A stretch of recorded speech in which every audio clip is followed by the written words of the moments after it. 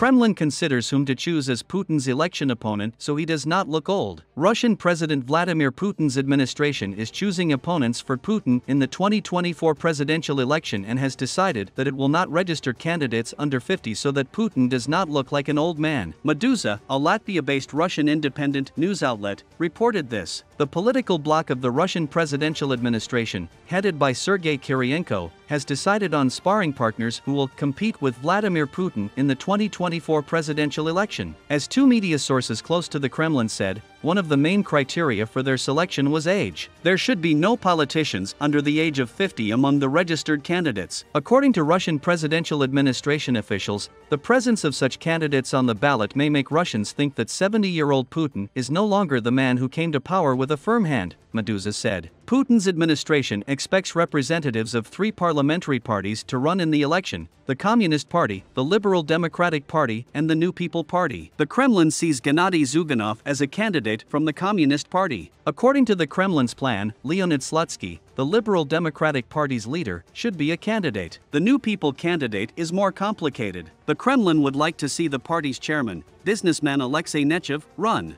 However, this plan has not yet been agreed upon with Nechayev himself.